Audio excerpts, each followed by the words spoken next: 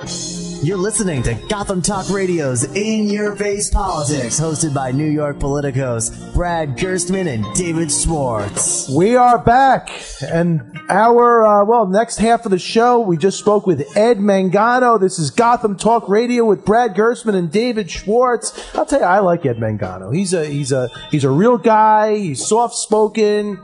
He's one. I'll never forget, Brad. You know, when John Cheris, who, who's, who's a friend of mine, a friend of yours, he he runs his charity, Leading with Guts, about Crohn's and colitis, and he he told me, you know, can Ed Mangano? We had our walk. Can Ed Mangano come by and say hello to the team? I think everyone would really like it. I remember how easy it was to get him to come. You know, we called him.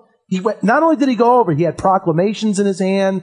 He's, he's really a good, good guy. Yeah, he's a people's guy. Yeah. I think that's what that, that's what people like about him. There's nothing wrong with it. He's Nassau County executive. He's one of us, and he's out there to help. And I think it kind of lends to what we're talking to Josh about: is becoming, you know, a, a citizen leader of a community, and uh, and and that's what it seems like. Josh was in the middle of telling us. Sorry about cutting you Well, off why don't we even start over with him? We'll just get rid of that whole because he only was talking for like thirty seconds. So, so let's introduce our guests. We have Joshua Lafazan. Actually, let's not cut it off because we did such a good intro before. Tim, you'll just have to cut this all up. but anyway, um, Josh, I'm a big fan of yours. I remember when you won that school board race, how excited I was to see this kid. And I remember the, you know, during your victory speech, you had all your friends out there. It was all high school kids, right? There were no adults. There may have been some adults out there, but it was all high school kids going wild for you. And it was just a great spirit, you know, that it, I felt, I felt that there was change ahead in Syosset. So why don't you tell us a little bit about, uh, uh, well, Brad, why don't you ask the question since you asked the No, I mean, I, I guess some people got ex- some people got excited, but you know, others looked at it as like now the inmate's going to run the prison, and uh, that's not what a lot of well, some people want. You won with what eighty three percent of the vote, 82%. eighty two. That's pretty darn good. So, uh, so tell us, you know, when you got elected, what was the next step? You you you, you entered into no man's land, really. He was about kids. to tell us about the thought process about getting into the election and then what that was like running. So why don't we start with that? Well, as I was as I was saying before, you know, the the thought process behind running it wasn't an impromptu thought. You know, I'm going to run for the school board. Uh, you know, it was a well thought out process that I came up with. You know, uh, sophomore and junior year of high school, and uh, you know, re- really, I had such an such a great amount of ideas uh, for the Syosset School District, and the way it works in Syosset is that if you wanted to get involved, the only way you could really make an impact is if you were a school board member. So I had to run for the school board in order to really, you know, see my ideas come to fruition. Now, Brad, I know, you, you know, uh, understandably so, people, you know, met my idea of running for the school board with skepticism. You know, he's 18, he doesn't pay property taxes, and my answer really was, you know, I'm one of nine people. You know, a school board made up of nine 18 year olds is not a solid board. That wouldn't be a, you know, a well functioning governmental body. But one 18 year old with fresh ideas and, you know, the perspective of students and, you know, the willingness to, you know, think outside the box to come up with creative solutions to problems, you know, I, I think um, I sold voters on the fact that I would make a great addition to the board, and I feel like I have made a great addition to the board uh, in my my short tenure so far. Yeah, but I like to hear more. I mean, excuse me for, you know, raining on the parade, but I like to hear more about some of the, you know, people that were not interested in you entering that boardroom for the first time. I mean, come on. There was so much discussion in the papers about your first meeting, your second meeting at, with the board.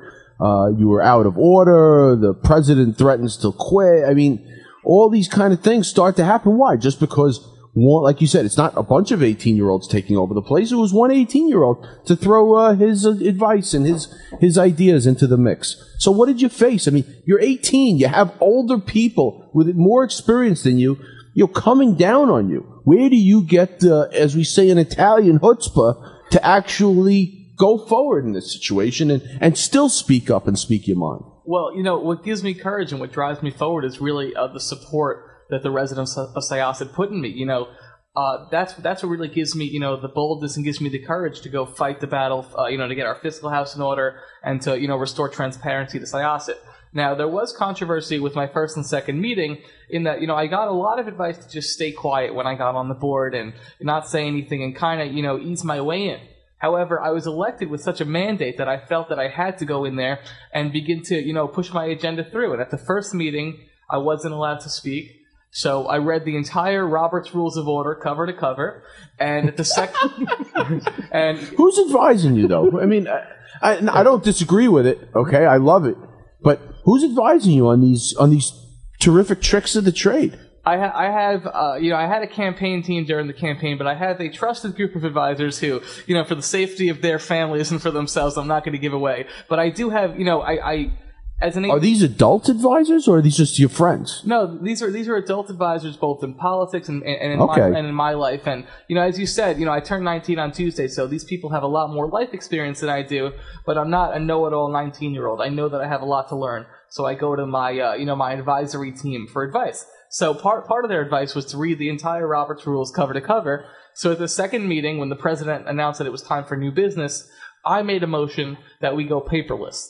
It would save the school district about seventy-five to eighty thousand dollars.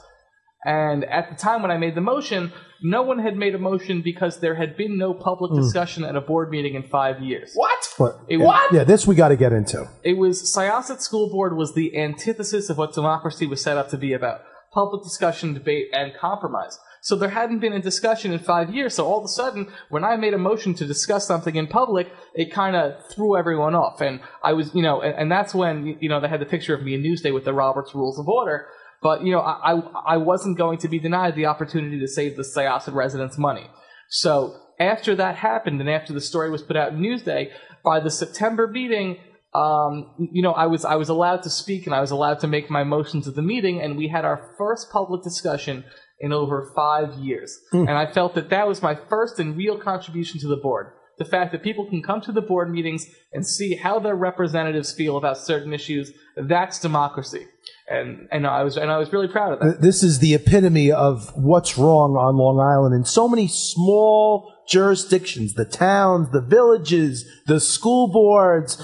But Josh, all right, so now you're at your second meeting. How how how are you being treated in in the various communities you're in? How are you being treated by your peers, the fellow students? How are you being treated by your teachers? How are you being treated by the administrators in the school? It, what what's that? Oh, like? that must have been great with the teachers while you were there. I, I, yeah. I, did your grades automatically go up? Go You- down, or you- maybe they went down. Who Never knows? called on you. if What happened a- there? you What know, happened? give us some insight and give you know what? Don't do the general political thing. Give us some, give us some dirt. Every time you needed to go to the bathroom, they just ushered you through. Some guy's in the stall and he just jumps out Well, of the way. well, Brad, lets you know the way they treat the school board members. Like when the principal gets up. Oh, my oh, God, Oh, and Mr. Kurtzman is here from Yeah. the school board. I mean, it, it's But such it's reverence. unprecedented to I mean, have a kid, yeah, well, student that, on but the that's board. Why? That's why I want to hear about the dynamic with you. Did you ever tell this principal, shut up and get in your corner? Well, I, you heard me? I you know I, I wouldn't say that to any. Wipe that smirk off your face. What are you looking at? well, I, I, I don't think I'd say that to any adult, let alone our principal, Dr. Durante, in high school is an amazing guy. So I have the. Yeah, but just to mess with him, just to use, just to flex. You know what? I let him. You want to flex your muscle once in a while. It's like with Dave. I yell at him from time to time because I can. But but but give us a good answer here. Don't give us a All right. political answer. Well, I'll tell you, it was a unique experience because my election was May 15th and I won. So from May 16th to the end of June, I was a senior in high school as a trustee elect. So I wasn't yet a trustee on the board, but I was a trustee elect. So it was um it was unique in, in you know in, in interacting with you know with certain teachers, certain certain administrators, but uh, you know, it, it was a great experience. You know, I think what what what happened was, you know, it, it kind of captured the entire school's attention, and it was a great lesson in politics for the students at Syosset High School and all the schools. So I think that's what made it more unique is that for you know for a change, everyone's really paying attention to what's going on. in yeah, local but come on. All right, that, that was crappy Yeah, what, no what, disrespect. What about your grade? Did you get the grades you deserved at the end? I mean, it would have been a lot easier for a teacher. You know what? This guy is like overseeing my job now. Let me just give him a higher grade. I mean, Yeah, why I- mess with He's him? a graduating senior anyway. What And do the I? day care? after you, did Right. you come in with like a big gold chain around your neck, like bouncing around? Get out of my Right, way. you make. What you about ma- girls? Like, did it you're the help one, with girls? You're the one who makes the policy in these schools, and yet you're the one that has to obey the policy. you negotiate Right. with the union. Right. You're the one that does it. What about girls? I have so many questions. right, right. I mean, I, this would have been perfect. Yeah, I mean, girls is a good question. Did you tell too. the captain of the football team to get out of your way? Did you say, you know what? You're Give us- give us You have story. a football team You didn't build that. Give us a day to day diary from May through June, through the day you graduated. What changed in It your must have life been at that great. school? Give us something to, to This should be a TV show. give us by something the to way. chew on. Well, something that was cool is that you know the infamous robocall, which I know you both know about, and pretty much all of Long Island knows about now, was sent that Monday night. And in a showing of solidarity on Tuesday oh, morning, Oh, right, I remember that yeah, madness. The, the robocall, and in a showing of solidarity among the students Tuesday morning, uh, the day of the election, I walked into my AP U.S. History, um, you know, AP exam, and there must have been 350 students taking it. And as soon as I walked into the gymnasium, everyone stood up and, and in solidarity gave me a round of applause. Oh, that is so and, cool. and, and the proctors didn't know what to do because they'd never. You know what I would have done? I would have taken the test, thrown it right back at the proctor, and said, "I'll take an A. I gotta go." All right, all right. So that's a cool story. So that's a cool. All right. st- But no, it, it, it, it was cool. In, you know, it, it was just it, it was a fun time to be a senior because you know being a senior towards the end of high school anyway, you don't have that much work. Uh, there's a lot of free time. There's a lot of built up anticipation of graduation. But being you know a trustee elect, it felt good because I finally got to enjoy all the hard work I put into my election. But uh, I got But it was at the end of the year, so explain to Dave what it was like to go with the prom queen to the prom. um, I actually, you know, I, I went with my, you know, one of my good friends, Alicia. I went with a very nice girl. But prom, you know, prom, prom was great in that it was kind of the summation of the entire year. It was a night for me to just, you know, look back on all I accomplished and kind of just enjoy it because the campaign, you know, the campaign was emotionally grueling. You know, it was physically grueling. I was up going to train stations. You know, I was knocking on doors. I was going to events. So it was nice from May to June to kind of, you know, be a senior because all of my friends, you know, as se- second semester seniors. It's a fun time, you know. You don't have that much work. You get to just But be. a why? You, you remember that? I mean, that robocall. They were attacking you personally. There was such a movement amongst the Ag- people, the you, status yeah. quo people, and it's the minority of people because everybody seemingly voted for you. Okay, so they wanted you. You entered with a mandate, but there was such a movement against you by these evil doers, these people that. Well, just want their little fight. to it's beyond them that. just Oh, yeah. stay the same, Just and they the went fiefdom. very they went very far to try to take your legs out from under you. Yeah. Do you hold a grudge towards these people? I would be so angry. I'd be going after them hammer and tongs. All right, forget about what you would do. You Oh, didn't do oh, I'm it, not- all right? I'm not allowed He to. did it, you I didn't would, do it, okay? I would rip their eyes out, metaphorically speaking. You didn't run for school I board, would, Brad. I would Jo- be. I would be all over the All right, Josh, how do you feel? How do you So, how do you feel? You know, rather you don't have to endorse his feelings. You could. Well, that was that was very you know vivid and specific. but rather than holding a grudge, I feel the best way you, you know the best the best way to show these people you know the, the best way to kind of get back at them. And I, I don't I don't you know I, I don't hold a grudge. I don't seek revenge. But the best way to show these people that what they did didn't work is to continue to push for transparency and open government and everything they didn't stand for during the campaign. If I further my agenda, if I accomplish what I set out to do, then I'm totally getting back at them. And I feel that, you know, I, I owe it to the Syosset residents to focus on what's important, not getting back at the people who, you know, tried to, you know, ruin my election. What's important right now is getting our fiscal house in order and making sure we have one of the best school districts in the state. But but but what did they do? Did they try to ruin your life at any time? Did it? I mean, well- give us some of the most. Give us a little laundry list of the most vicious things. that such a good politician. I know. It's incredible. I know. Now You you, can't break You know him. what, Josh? You become corporate. You become mainstream. You're exactly. Nah. You are everything that you were Don't running. give him a hard time. No, no, Okay, uh, no, but but but give us give us some Give us a little bit. Then I want to sum up. I want to. I want to give. A, I I want to want- a give a, a summation at the end. No, Tim is getting antsy. No, no, no. There's a few more things we got to Okay, talk about. well, his um, future and stuff. I, I got to tell you, during the campaign, um, I started positive. I never went negative at first. When people, you know, uh, I, all I spoke about when people asked me why I was running for the school board, you know, I, di- I didn't bring up the, uh, you know, luxurious salaries of administrators. I didn't bring up the tremendous debt the school district had. I just talked about what I wanted to run on. I was, you know, the opposition struck first. I'm the CEO of a program called Safe Ride Syosset. And what happened is, uh, Kathleen Rice brought a program. this is great. Get to yeah. Kath, Kathleen Rice brought, brought a program called Choices and Consequences to the high school, and it's all about not drinking and driving. And I went to the, you know, to, to my principal and I said, I'd like to speak at this event. I'd like to make sure parents know that my program, Safe Ride Syosset, is, avail- is available to their chi- their children. Kathleen Rice said it was okay. Can you explain what the program is? Sure. Safe Ride Syosset is a program which, uh, you know, I founded in September of 2011. How it works is that Syosset High School students who either drink or are driven by somebody who drinks call the Safe Ride Syosset hotline, which is my cell phone, Friday and Saturday nights from 10 to 2. So I asked students who drink. How? What's the drinking age? Drinking age is 21, which is why I don't drink.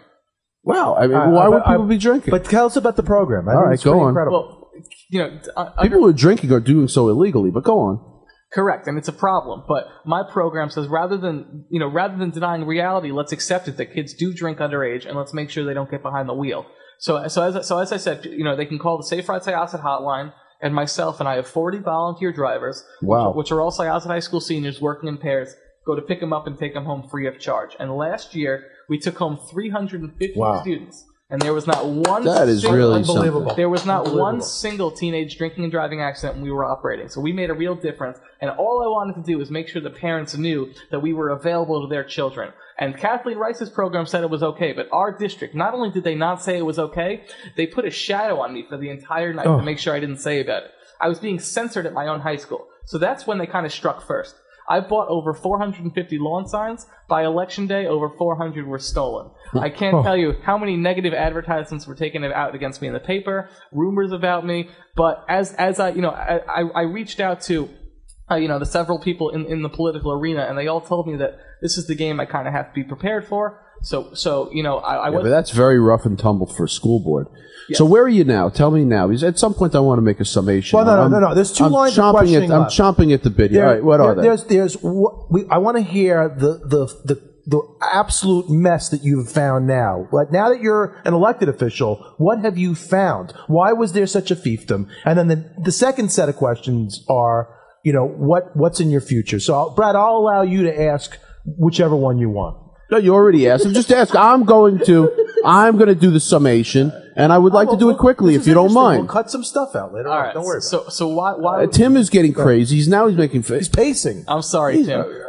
you don't have to. All right, it's all right. Don't so- worry. It's not you. Dave's Is- in is- trouble. okay, is maybe this me. is this a fraudulent operation? No, no, it's not a fraudulent operation. What it was is that the school board members were listening to the administration, um, you know, far too much, and that's what I found is that you know the administration has experts advising the school, their their own experts advising the school board, and of course the superintendent advises the school board. And what I found is that as school board trustees, we need to do our own research. We need to listen to experts in the community rather than the experts of the administration, and we need to be a more hands-on government body. And that's how we solve the problems of the day, getting our fiscal house in order and paying down the $50 million of debt we owe. wow. Dave, what was the other question you wanted? Well, well, Because the I'm other- going to because I'm oh, going to do oh, a you'll- summation. oh, You'll do a summation. And you know something? So when I'm done with the question is- summation, you're not talking at all. Okay, that's I'm just going to do it That's fine. myself. That's fine. Josh, Josh. So now you've accomplished so much at such a young age. and I'm, I'm so proud of you. Your parents, I know your parents are very proud of you. Thank you.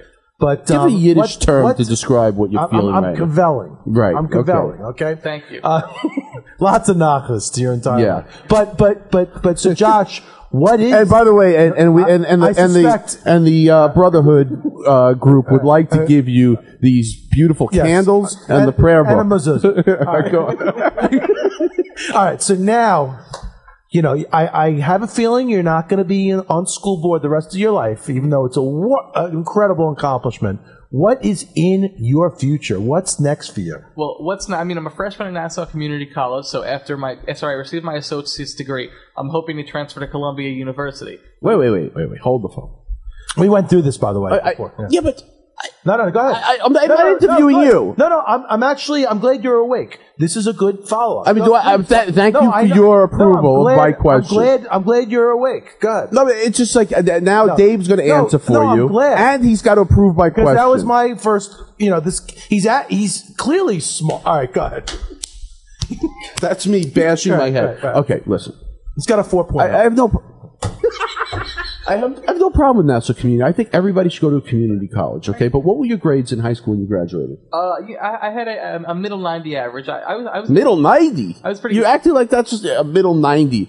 Dave, was- they have had a middle seventy. Yeah. I, I, I, he, he's lucky he could tie his shoes Brad, by Brad, the time he Brad had a middle two. Brad Yeah. actually got a two. All on right, one so of his so listen. wh- I'm just curious. Why did you go to Nassau? Well, I had you know I had great grades in high school, and you know I, I could have gone to uh, you know a bunch of places away. The reason I went to Nassau is because first of all I have to be close to my constituents because I have Ah. a big agenda, and being on the school board, I I like to be close to, to really gain a good pulse of what the community Oh, is you're feeling. serious about this stuff. Yep. But secondly, the reason I went to Nassau is because, um, you know, as I said, I'd like to transfer into Columbia, which is a top four-year university.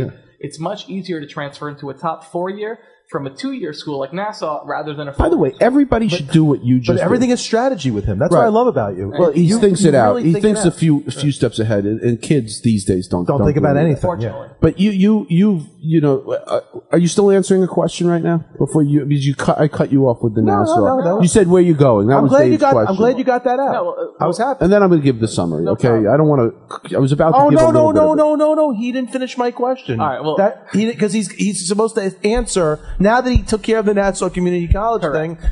Where are you going? Like what's heavy. what's in your political Well, future? In, my political future, um, my next step is, you know, my term on the school board ends 2015, and I made a commitment to the residents of Syosset that I would serve them up until 2015, which I will. After my term is over, I plan to run for the New York State Assembly. My goodness. You know something? I, I, now, can I give Dave? Am I permitted? Do I have permission from you to at least begin some kind of I'm just so happy I was here at the beginning. You know, at the beginning of your greatness because I, I have such high hopes for you. I really you. do. So instead of answering my question, Dave goes on with his own. So listen, listen, No, Josh. I want to tell you, I've been I've been looking at you. We've been talking. We spoke beforehand. Uh, you really are a remarkable guy. I, I, I and you know something, you're. You you have such great composure, and I guess that explains how you're able to walk into a board meeting with all these adults around you. Believe me, I've walked into board meetings myself as the, for the first time, and I was intimidated to some extent. And I'm probably one of the most intelligent people around, and you know I have nothing at all to ever f- be intimidated by. Okay, but you as a younger person, having never experienced this, it's amazing you can go in, and not only do you go in, but you go in with a plan, and you go in with a plan, and you say the right things, and you do the right things, and you create change, which if you look at politics today, it is so infrequent that you find anybody that's willing to actually make change. You see, there are people that are willing to talk about making change, and that's what everybody runs on. Uh-huh. But I could tell you from firsthand experience, those people go in and they lie flat down, face first, waiting to be told what to do by leadership. And you weren't looking for that. And that's the way it was running. And you busted it up. So I can just say is that when it comes to traditional government, uh, higher than the school board, not minimizing school board, but a traditional government, this is what we need. We need more people like you. And I'm not this somebody at 80 years old can decide they're going to do it the way you're doing it. It's not an age thing. It's just a it's just a, a different way of thinking. And you have a maturity level way beyond your years, obviously. And your parents deserve a tremendous amount of credit Absolutely. for turning out a kid like you. I don't know. Maybe you have brothers or sisters. Maybe one's in prison and the other one's in drug rehab. Maybe not. Okay, I'm just kidding. But even if you were the, even if that were the case, and you were the only success, your parents still did a good job. The net sum is a positive, and I and I'm happy to meet you, have met you, and I hope to see you achieve greatness in the coming years. And Shabbat Shalom. Thank, thank you very much. I, So, I Jo- really appreciate it. Josh, it was great having you on our show. You, you've been a terrific guest. We had a great show tonight, and I'm doing this for the music because we're going to wrap this. Oh no, I thought you were going to dance. We're gonna, uh, uh, yeah. yeah, it comes on. I'm going to dance. But Josh, Yeah. it's, it's been really, it's really been an honor meeting you. We're going to keep up with you. We expect great things for you. And this is Gotham Talk Radio with Brad Gerstmann and David Schwartz signing off for now. But we will be back next week with another show, a fresh show. This is the greatest show on Long Island, in New York, and in the world. So goodbye, everybody. GothamGR.com, GothamTalkRadio.net. Look out for millennial partners because we're going to take over the world there. And goodbye, residents. Very good. Very good. You really. Excellent. Yeah, that was a great.